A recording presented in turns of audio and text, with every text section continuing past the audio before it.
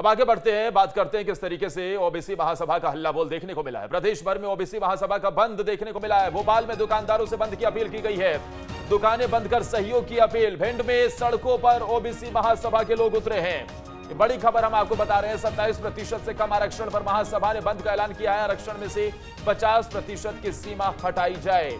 OBC महासभा की तरफ़ से कहा गया है। कांग्रेस ने भी ओबीसी महासभा के इस बंद का समर्थन किया है।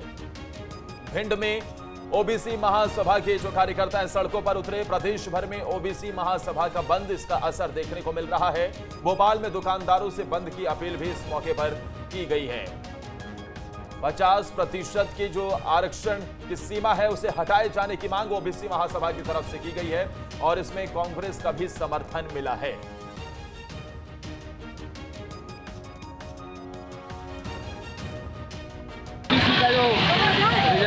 पंचायत और नगरीय निकाय चुनाव में पाने के लिए सभी रोड लोग रोड पर उतरे हुए हैं और सभी दुकानदार साथियों से प्रेम पूर्वक निवेदन करके सभी साथियों से हम दुकानें बंद करवा रहे हैं।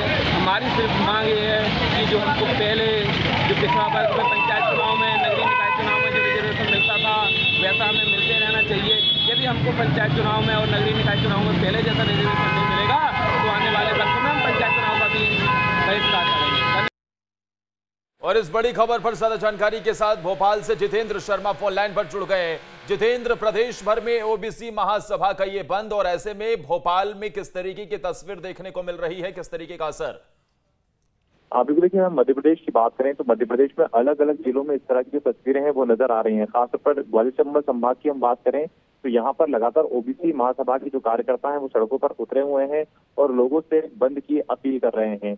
भोपाल में भी अलग अलग जगहों पर जो प्रदर्शन है, वो किया जाना है। सत्ताईस प्रतिशत आरक्षण की जो मांग है वो कहीं ना कहीं ओबीसी वर्ग के द्वारा की गई है। इसके अलावा मैं आपको ये भी बता दूँ कि कांग्रेस का समर्थन मिला है ओबीसी महासभा को। और ऐसे में कांग्रेस ने भी कहा था कि कांग्रेस के कार्यकर्ता भी सड़कों पर उतरेंगे और बंद का जो आह्वान है वो मध्य प्रदेश की जनता से करेंगे। क्योंकि जिस प्रकार से ओबीसी आरक्षण के बाद से लगातार मध्य प्रदेश की सियासत देखने को मिल रही है मध्य प्रदेश में नगरीय निकाय चुनाव होना है मध्य प्रदेश में पंचायत चुनाव होना है और ऐसे में जो ओबीसी महासभा है उसके द्वारा जो कहा गया है उसी को देखते हुए देखा जा रहा है कि मध्य प्रदेश में अलग अलग जगहों पर जो स्थिति वो नज़र आ रही है।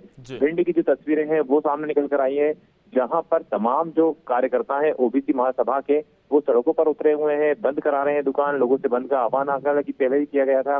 इसके साथ ही अलग अलग जगहों की जो तस्वीरें हैं वो इसी तरह से आ रही है। अब देखना ये होगा कि कांग्रेस का जहाँ ओबीसी महासभा को समर्थन मिला है तो ऐसे में बंद कितना कारगर होता है। बहुत बहुत शुक्रिया जितेंद्र आपका तमाम जानकारी देने के लिए।